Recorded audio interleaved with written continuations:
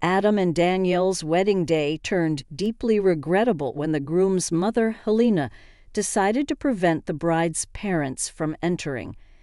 They were derogatorily labeled as country folks for not being dressed according to the ceremony standard. The groom's mother just didn't expect that life could take surprising turns. Hello, my friends. I am Linda, and this is Linda's Stories channel. I hope you enjoyed this story. Adam was a young man of striking beauty born into a very wealthy family. He had a reputation for being very cold and serious. The young man left his home at a very young age to study abroad. However, when he finally decided to return to his hometown, he did not expect the twist his life was about to take. When Adam came back home, he went to the kitchen to get a glass of water, and there he saw a beautiful young lady for the first time. She was wearing an apron, gently stirring a pot on the stove. He noticed something different in her gaze, setting her apart from the women he had encountered during his life abroad. Adam soon found himself attracted to Danielle, who was a shy young woman with a fragile appearance.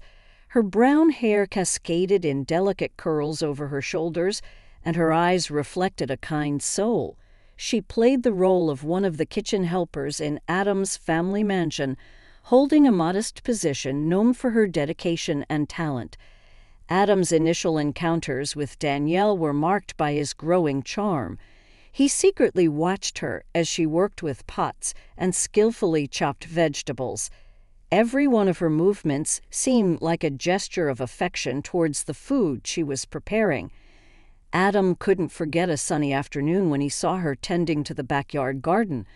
The sun shone on her face, highlighting her natural beauty. It was at that moment that Adam discovered that something was changing inside him. Danielle, on the other hand, was aware of Adam's attention. She tried to maintain her composure and continue with her work, but her heart raced every time he entered the kitchen. It was hard for her to believe that someone like Adam could be interested in a simple kitchen helper. The young man was deeply in love, and even his serious and reserved nature had transformed. He experienced life with lightness and happiness since he had met the girl. Love had a transformative power over him, bringing out a side of his personality he had never imagined before. Determined to get to know Danielle better, Adam finally gathered the courage to approach her. One day he found her alone in the kitchen, preparing desserts for dinner. With a racing heart, he went up to her and called her by name. Danielle, he said softly. Danielle looked up, her eyes met his, and her heart raced. Yes, Mr. Adam. Adam decided to be direct. Danielle, since I've come back home, I can't get you out of my mind. I've fallen in love with you. Danielle blushed deeply and felt a lump in her throat. With tears in her eyes, Danielle said, Please, Mr. Adam, don't make this any harder than it already is. I can't. Adam left the kitchen with a broken heart, but he was determined to win Danielle's heart, no matter how long it took. Months passed, and Adam continued to court Danielle in various ways. He helped her in the kitchen, brought her flowers, and wrote passionate letters. Danielle was falling more in love but she was also terrified of the consequences their relationship with Adam could bring.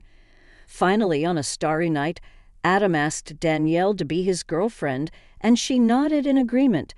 They shared a passionate kiss under the moonlight. The couple decided to keep their relationship a secret because they knew Adam's parents would not accept it.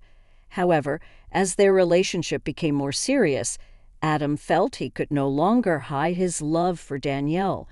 He decided to tell his parents about their involvement, believing that once they saw the sincerity of his feelings, they would accept his choice. That night, he approached his parents with Danielle by his side. Monique, Adam's mother, twisted her face in disgust when she heard her son's words. You can't be serious, Adam. This girl is not suitable for you. Even with Danielle present, they continued to criticize Adam for being with Danielle Ricardo, Adam's father, agreed with Monique. This is madness, son. You're ruining your future. Adam was furious at his parents' rejection. You don't understand. Danielle means everything to me. I don't care about money or social status. I love her and I will marry her with or without your blessing. Danielle's parents were humble farmers who lived on a farm on the outskirts of town. They were in debt to Adam's family. Danielle's father offered his daughter to work as a way to settle the debts they had with Adam's family. Adam's family was powerful and had significant influence in the city, having amassed their wealth through successful real estate ventures and various businesses. Danielle's parents also had outstanding debts related to the farm. This became a significant factor for Monique, as Danielle came from a humble family deeply in debt.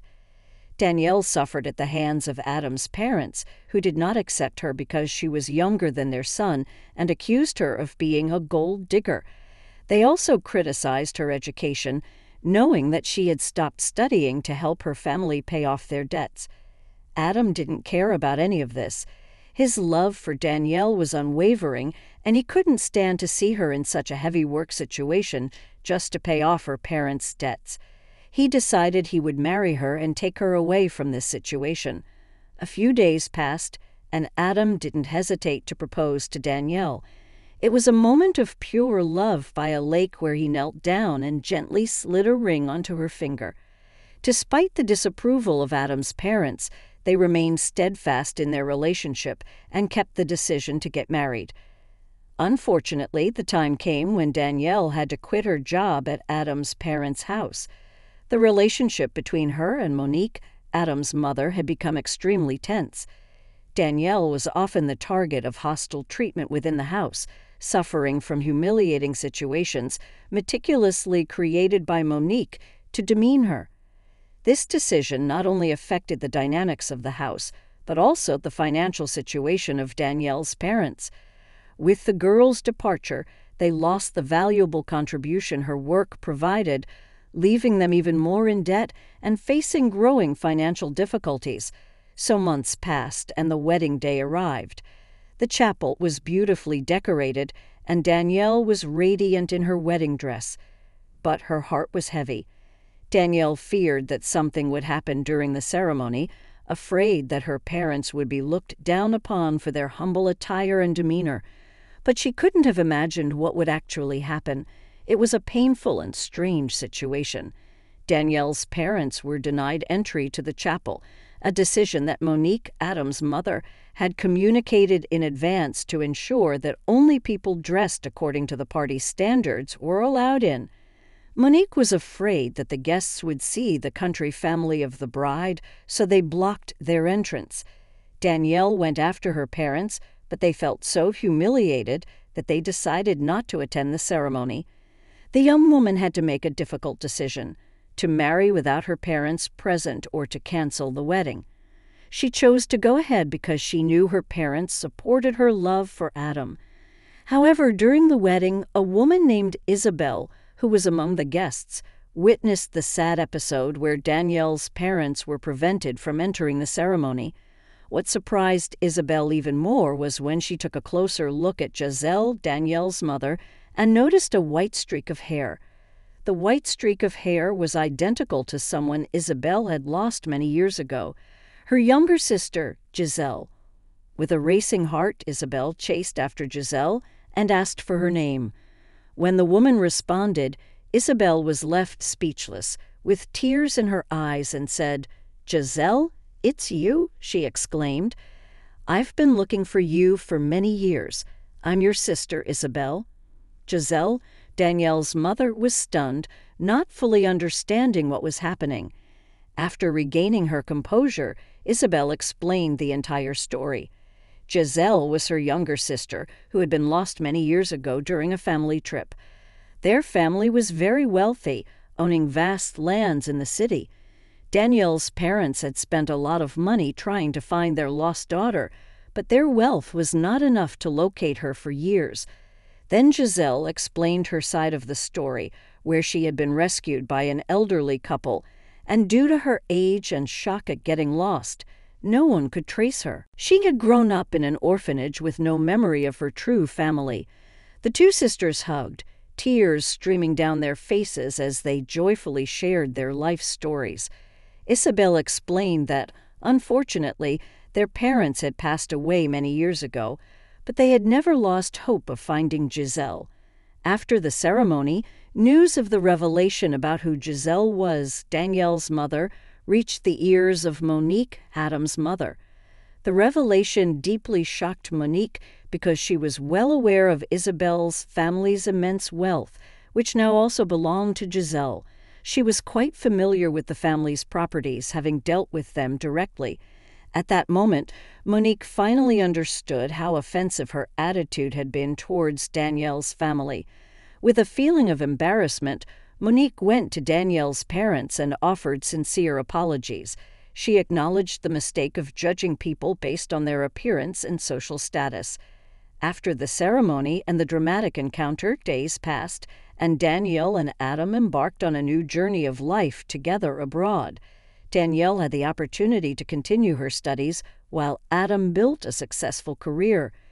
The couple radiated happiness, and nothing was more important than the love they shared.